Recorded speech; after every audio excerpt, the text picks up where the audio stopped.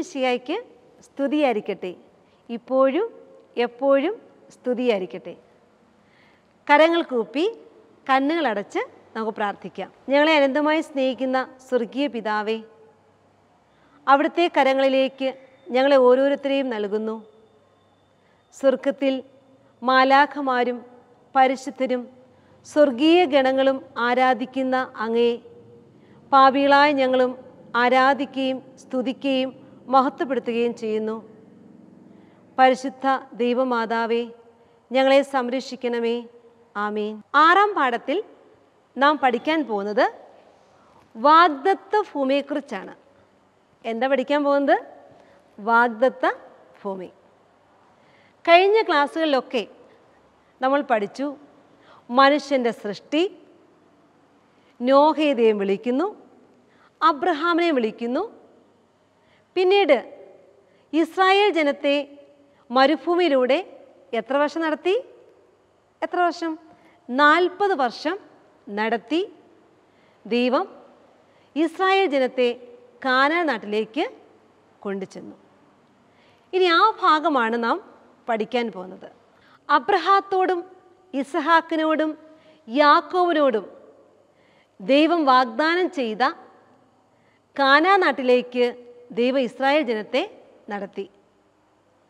അവർക്ക് ഭക്ഷണമായി മന്നയും കാടപ്പക്ഷിയും പാറ പിളർന്ന് ജലവും ദൈവം നൽകി.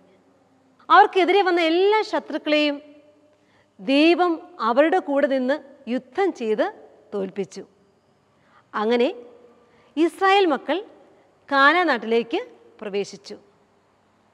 ജോഷുവായുടെ ദൈവം പറയുന്നുണ്ട് നീ പോകുന്നിടത്തെല്ലാം നിന്റെ കൂടെ ഞാനുണ്ട്.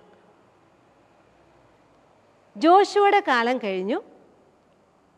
ഇസ്രായേൽ മക്കൾ തെറ്റിലേക്ക് പോകാനായിട്ട് തുടങ്ങി.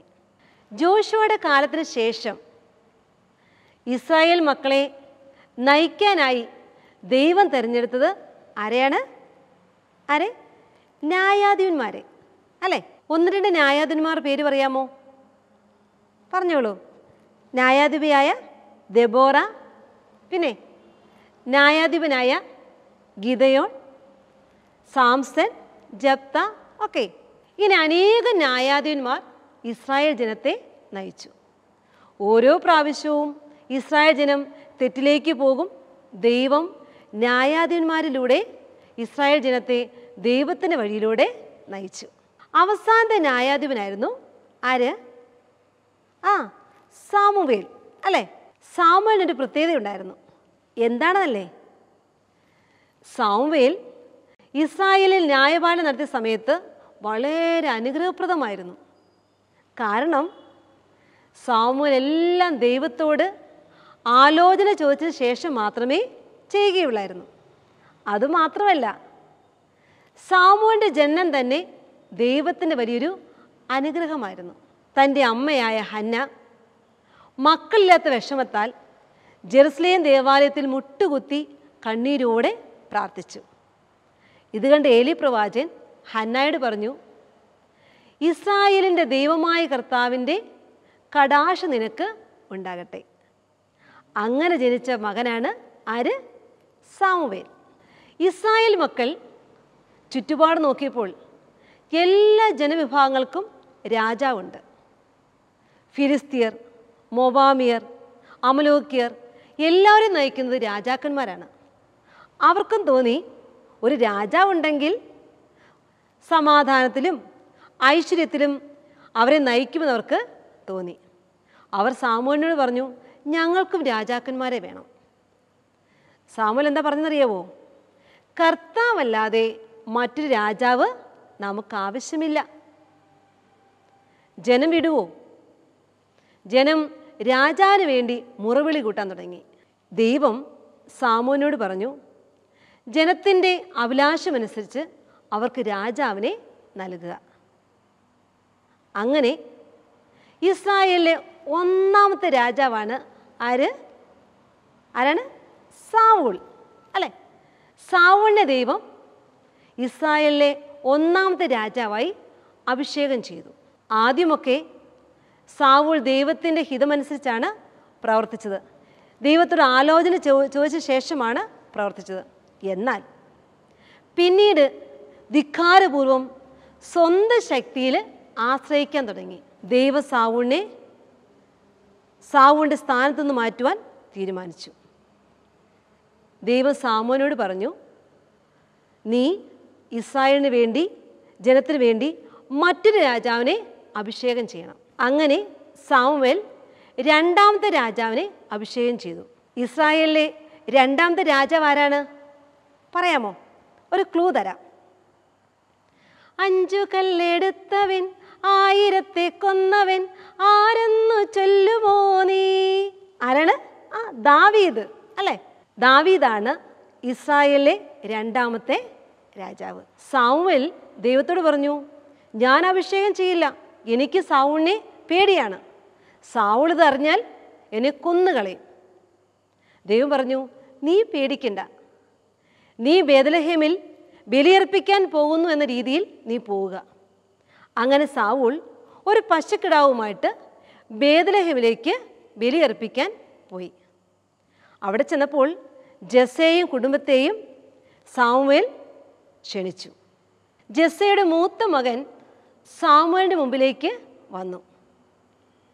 സാമുവേൽ വിചാരിച്ചു ഇവനെ ആയിരിക്കും ദൈവം ഉദ്ദേശിക്കുന്നത്. കാരണം ആരോഗ്യമുള്ള കാണാൻ ഭംഗിയുള്ള ഒരു യുവാവ് ആരോഗ്യ ദൃഢഗാത്രനായ ഒരു മനുഷ്യൻ. ദൈവം പറഞ്ഞു അവനെയല്ല ഞാൻ തിരഞ്ഞെടുത്തത്.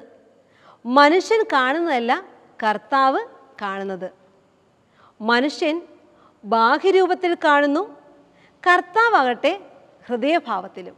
ജസെ രണ്ടാമനെ കൊണ്ടുവന്നു. ദൈവം പറഞ്ഞു വേണ്ട. അങ്ങനെ ഏഴ് പേരെയും സാമുവേന്റെ മുമ്പിലേക്ക് കൊണ്ടുവന്നു. ദൈവം പറഞ്ഞു ഇവരെ ആരെയും ഞാൻ തിരഞ്ഞെടുത്തില്ല. സാമുവേൽ ജസ്സയോട് ചോദിച്ചു ഇനിയും നിനക്ക് പുത്രന്മാർ ആരെങ്കിലും ഉണ്ടോ? ജസ്സെ പറഞ്ഞു ഇനി ഒരാൾ കൂടിയുണ്ട് ഏറ്റവും ഇളയവൻ. അവൻ ആടുകളെ മേയ്ക്കാൻ മേച്ച സ്ഥലത്ത് പോയിരിക്കുകയാണ്. സാമുൽ പറഞ്ഞു അവൻ വരാതെ ഞാൻ ഭക്ഷണം കഴിക്കത്തില്ല. അവനെ വിളിക്കാൻ പറഞ്ഞു. അങ്ങനെ ദാവീദ് സാമുവിന്റെ മുമ്പിലേക്ക് വന്നപ്പോൾ വളരെ കോമളനായ പവിഴ നിറമുള്ള ഒരു കുട്ടി. സാമുവേൽ ദാവീദിനെ അഭിഷേകം ചെയ്തു. സാമുവേൽ തിരിച്ചുപോയി. ദാവീദ് മേച്ച സ്ഥലത്തേക്കും പോയി. ദാവീദിന്റെ പ്രത്യേകത ദാവീദ് ദൈവത്തിന്റെ ഹൃദയത്തിനിണങ്ങിയ രാജാവായിരുന്നു. നിന്റെ എല്ലാ പ്രവൃത്തികളും ദൈവവിചാരത്തോടെ ആയിരിക്കട്ടെ. അവിടുന്ന് നിനക്ക് വഴിതെളിച്ചു തരും. ഇതേത് വാക്യമാണ്? സുഭാഷിതങ്ങൾ മൂന്നാം അധ്യായം ആറാം വാക്യം. നമ്മുടെ എല്ലാ പ്രവൃത്തികളും ദൈവവിചാരത്തോടെ ചെയ്താൽ ദൈവം തന്നെ നമുക്ക് വഴി കാണിച്ചു തരും. ദാവീദും ഇതുതന്നെയാണ് ചെയ്തത്. എല്ലാ പ്രവൃത്തികളും ദൈവത്തോട് ആലോചന ചോദിച്ച് ചെയ്തു. ദൈവം അവന് ചെയ്യേണ്ട വഴികൾ കാണിച്ചു കൊടുത്തു. ജസ്സയുടെ മൂത്ത പുത്രന്മാർ സാവൂളിന്റെ സൈര്യത്തിൽ ജോലി ചെയ്തിരുന്നു. ഒരിക്കൽ ജസ്സെ ദാവിദിനോട് പറഞ്ഞു ദാവിദേ കുറേ നാളായി നിന്റെ സഹോദരന്റെ സുഖ അന്വേഷണങ്ങൾ അറിഞ്ഞിട്ട്. നീ കുറച്ച് അപ്പവുമായി അവരുടെ അടുത്തേക്ക് പോയിട്ട് അവർ സുഖമായിരിക്കുന്നുവെന്ന് അന്വേഷിക്കുക. ദാവീദ് അങ്ങനെ യുദ്ധരംഗത്തേക്ക് ചെന്നു. അവിടെ ചെന്നപ്പോൾ കണ്ട കാഴ്ച ഒരു വലിയ മനുഷ്യൻ. അവൻ ഇസ്രായേൽ സൈന്യത്തെ വെല്ലുവിളിക്കുകയാണ്. അവൻ വരുമ്പോൾ എന്ത് ചെയ്യുന്നറിയാമോ? ഇസ്രായേൽ സൈന്യം ഓടി ഓടിമറയും ദാവീദിനൊന്നും മനസ്സിലായില്ല. ദാവീദ് അടുത്ത് കണ്ട സൈനികനോട് ചോദിച്ചു ആരാണ് ഈ മനുഷ്യൻ? സൈനികൻ പറഞ്ഞു ഇതാണ് ഫിലിസ്തീൻ സൈന്യത്തിലെ മല്ലനായ ഗോലിയാത്ത്. ഇവനെ കൊല്ലാനായിട്ട് ആർക്കും സാധിക്കുകയില്ല. ആരെങ്കിലും ഈ മല്ലനെ തോൽപ്പിക്കുകയോ കൊല്ലുകയോ ചെയ്താൽ രാജാവ് രാജാവിന്റെ മകളെ അവന് കൊടുക്കും. അതുമാത്രമല്ല അവനെ സമ്പന്നനാക്കും. പിതാവിന്റെ വസ്തുവകൾക്ക് നികുതി കൊടുക്കുകയും വേണ്ട. ദാവീദ് സാവുളിന്റെ അടുക്കലേക്ക് ചെന്നു. രാജാവിനോട് പറഞ്ഞു ഞാൻ ഈ മനുഷ്യനെ കൊല്ലാം. സാവൂളിന് തമാശയായിട്ടാണ് അത് തോന്നിയത്. എങ്കിലും മനസ്സില്ലാ മനസ്സോടെ ആ ചെറിയ ബാലനെ യുദ്ധത്തിന് ഉപയോഗിക്കുന്ന പോർച്ചട്ടയും തൊപ്പിയുമൊക്കെ അണിയിച്ചു. ദാവീദ് നടക്കാൻ ശ്രമിക്കുക. സാധിക്കുമോ സാധിക്കത്തില്ല. അവൻ പറഞ്ഞു എനിക്കിതൊന്നും പരിചയമില്ല. എനിക്കിതൊന്നും വേണ്ടതാനും അവനെല്ലാം അഴിച്ച് മാറ്റി. എന്നിട്ട് കവിണയും സഞ്ചിയിൽ അഞ്ച് കല്ലും ഒരു വടിയുമായിട്ട് അവൻ ഗോലിയാത്തിന് ലക്ഷ്യമാക്കി നടന്നു. ദൂരെ വെച്ച് തന്നെ ഗോലിയാത്ത് അവനെ കണ്ടപ്പോൾ നീ ഒരു വടിയുമായിട്ടാണോ എന്നെ കൊല്ലാൻ വരുന്നത്? ഞാൻ നിന്നെ ഇപ്പോൾ കൊന്ന് ആകാശത്തിലെ പക്ഷികൾക്ക് എറിഞ്ഞിട്ട് കൊടുക്കും. ദാവിദ് പറഞ്ഞു നീ എന്നെ കൊല്ലാൻ വലിയ കുന്തവും വാളുമായിട്ട് വരുന്നു.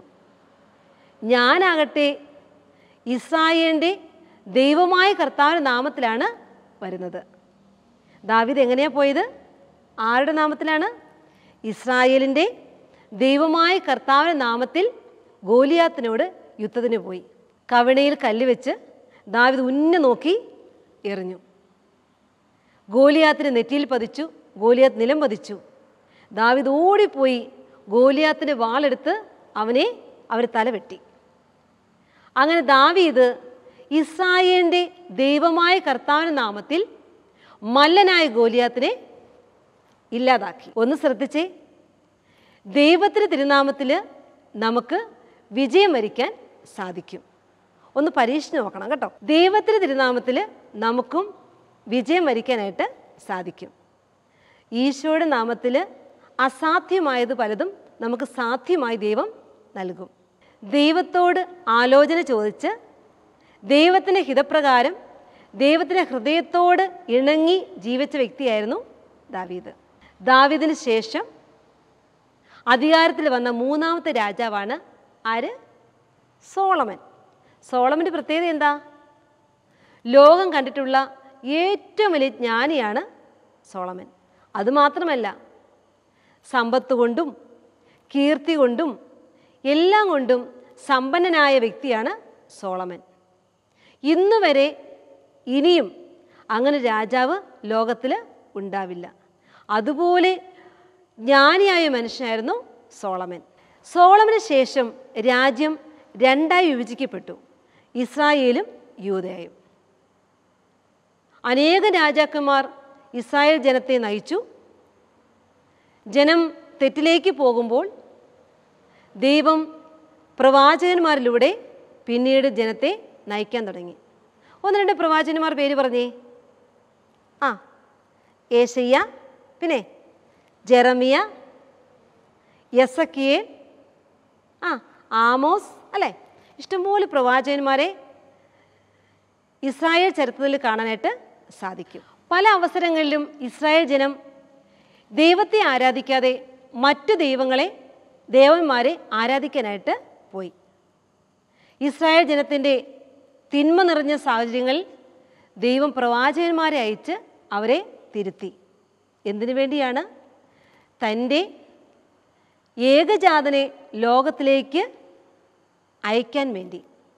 അതിനുവേണ്ടി തിന്മയില്ലാത്ത ദൈവത്തെ അന്വേഷിക്കുന്ന ഒരു ജനതയെ ദൈവത്തിന് വേണമായിരുന്നു. എപ്പോഴൊക്കെ ജനം തിന്മയിലേക്ക് പോയി അനുദപിച്ച് തിരിച്ചു വരുമ്പോൾ ദൈവം അവരെ കരുണയോടുകൂടി വീക്ഷിക്കുന്നു. ഒരു കാര്യം നമുക്ക് വ്യക്തമായി എപ്പോഴും കരുണ കാണിക്കുന്നവനാണ് ദൈവം.